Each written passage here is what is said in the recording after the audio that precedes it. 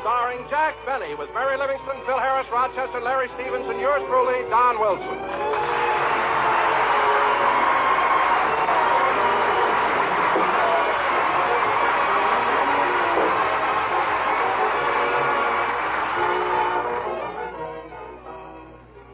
Tis the night before Christmas, and at Jack Benny's house, there are presents for all, even cheese for the mouse. Jack is up on a chair, then he's down on his knee, but you have to do that when you're trimming a tree.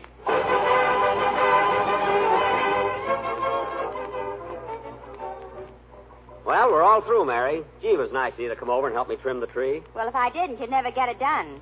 Say, Jack, shall I put the snow around the bottom now? Not yet. I want to see if the lights are working. I'll hold up the bulbs, and when I say ready, you plug it in. Okay. Ready? Ready. Pull it out! Pull it out! Pull it out!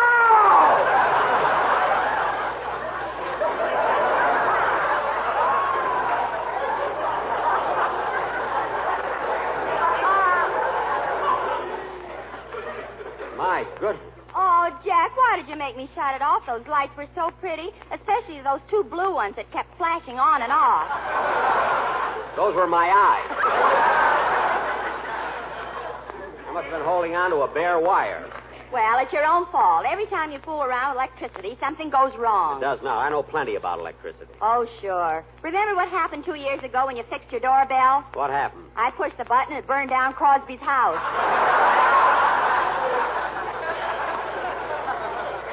Oh, stop exaggerating. Anyway, hand me that roll of tape.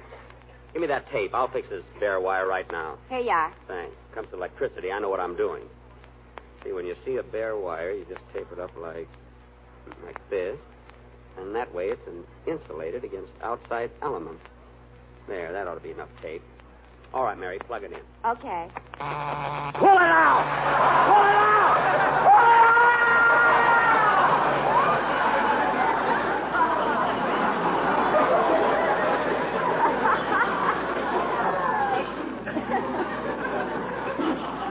For heaven's sake, what happened, Jack? I taped my finger to the wire. That's what happened.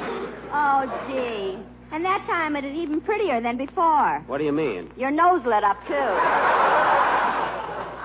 It did not. Let's get this tree finished before the gang gets here. But, Jack, what about the light? We'll have to let that go until later. Now, hand me one of those. Oh, Mr. Benny, What is it, Rochester? I baked that cake like you told me to. Good. Did you have enough whipped cream to spell out Merry Christmas on top? Yeah. Say, boss, how many R's in Merry? Two.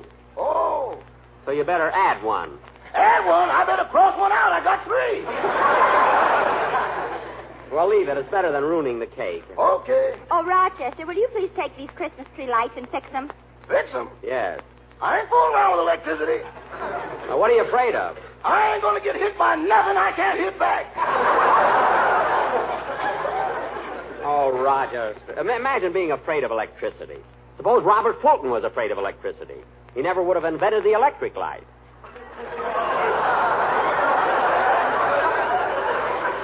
Would he? Jack, you're thinking of Thomas Edison. Edison? Well, then, what did Robert Fulton do? He said, don't give up the ship. John Paul Jones. Now, let's not start that again. Now, Rochester, please fix these lights, will you? Okay, okay. Let's see. Now, in electricity, there's the electrons and the electrodes. then there's the positive and the negative. But I ain't positive which one is negative. Hmm. Then there's the atom. Now, the atoms are supposed to go from the positive to the negative, or maybe they go from the electrons to the electrodes. then again, maybe they go from Natchez to Mobile.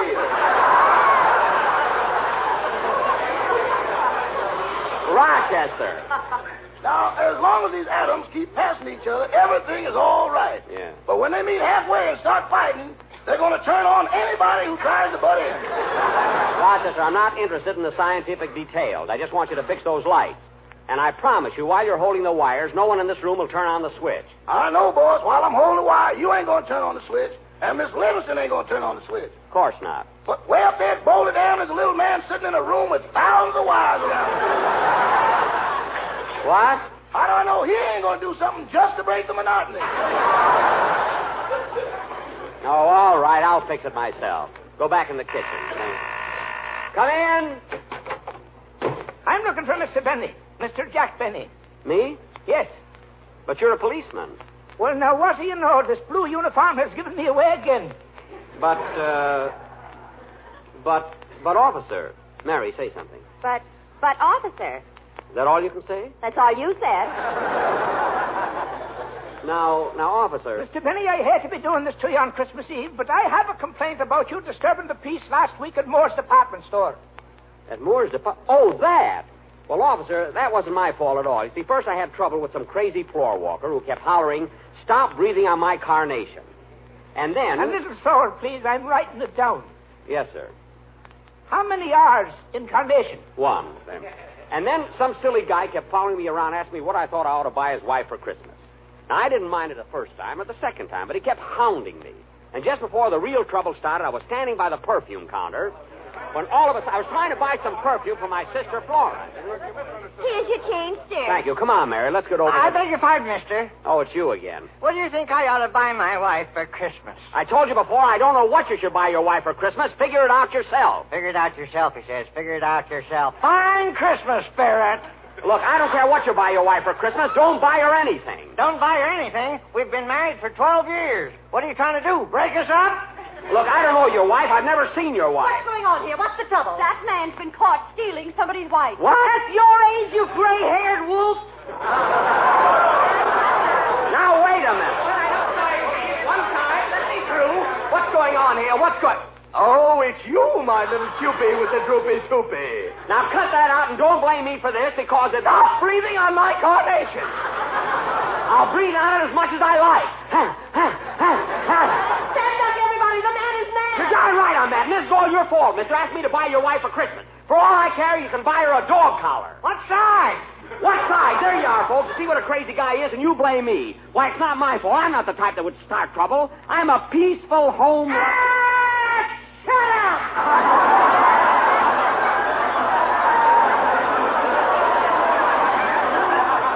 Oh, come on, Mary. Let's get out of here. And that's that's exactly what happened, officer. Believe me. By golly, it's amazing. It sounds like something you'd hear on the radio. Yeah.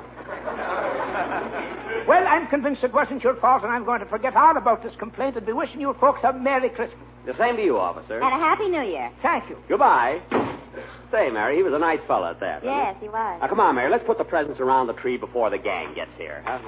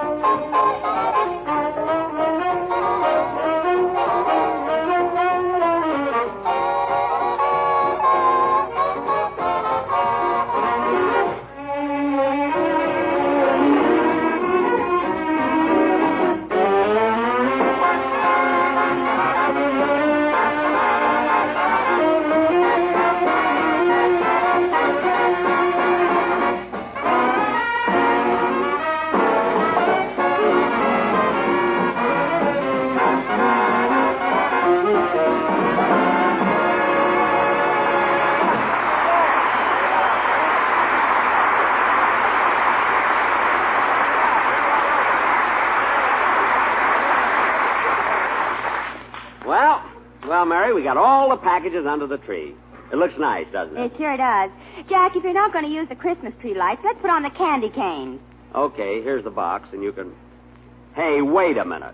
I had 12 candy canes, and now there are only 11. Where's the other one? Don't look at me. I'm not looking at you, I'm asking you. All right, I ate it. Here's ten cents. Smarty. I bet you'd be surprised if I took it. I wouldn't be surprised if you sued me. Mary, let's get this finished, will you? Jack, you better pick up those lights off off the floor before somebody steps on them. Oh, yes. Now, where can I put them? Going to put these lights up here on the chair. This chair right here. And, Mary, here's Rochester's present. I forgot that. Slip it under the tree. Boy, will he be surprised. But, Jack, how'll he be surprised you've got toilet water written all over the package? Well, you got to do that with Rochester. When he opens a package and finds a bottle, he never stops to read the label.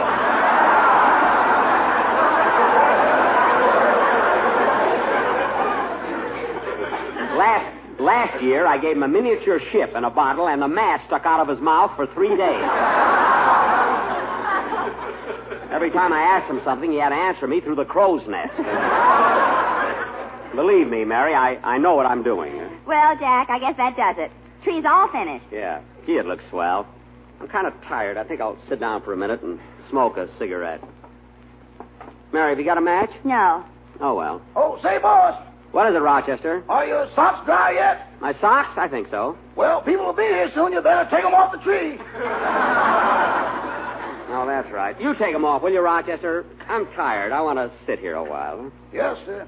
Say, this tree looks all nice, but it's kind of dark. Oh, no wonder the lights aren't plugged in. I'll fix that. Pull it out! Pull it out! Pull it out!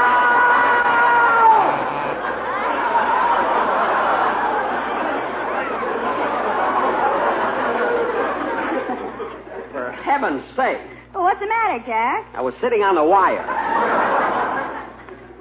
As long as you're here, Rochester, give me a match. You don't need it now. Your cigarette is lit.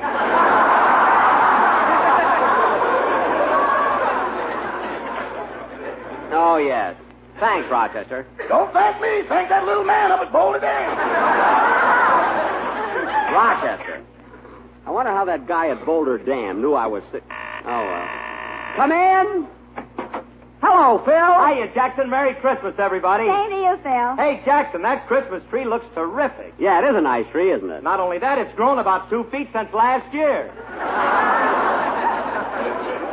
Phil, this isn't the same one. You know, Phil, I believe in the old-fashioned way of getting a tree. I know when you get up early in the morning and bundle yourself up warm, and you throw an axe over your shoulder and go out in the woods, you know, way out in the wilderness and chop down your own Christmas tree. Yeah, you're right, Jackson. Where'd you find this one? In the lobby of the Beverly Wilshire Hotel. You said it. Timber! Yes, sir. Say, Jackson, you ought to see the tree I got in my house. I got it all decorated, and then right on top, I got a big red star. A red star, Phil, supposed to be a silver star. I know, but this way I get five red points. oh, Harris, you humorous. You're the Mark Twain of your generation. Mark Twain, Phil, it's Twain. Twain. Wheelie?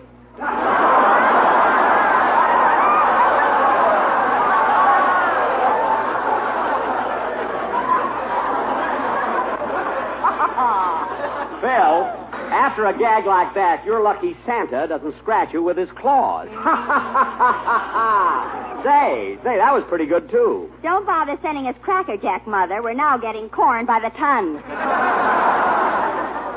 Oh, I don't know, Mary. I thought that was pretty cute. Hey, Phil, what do you got in that package there? Oh, I forgot, Jackson. It's a Christmas present for you. For me? Yeah, me and the boys in the band all chipped in and got it for you. Well, thanks, thanks. I'll put it under the tree. Oh, no, you don't. No, you don't. Open it up right now. Okay. It was certainly nice of you and the boys to think of me. You know, I really didn't. Oh, Phil, thanks. Gee, a beautiful turtleneck sweater. Gee. Well, look inside of it, Jackson. Inside? Oh. Oh, Phil. What is it, Jack? A turtle.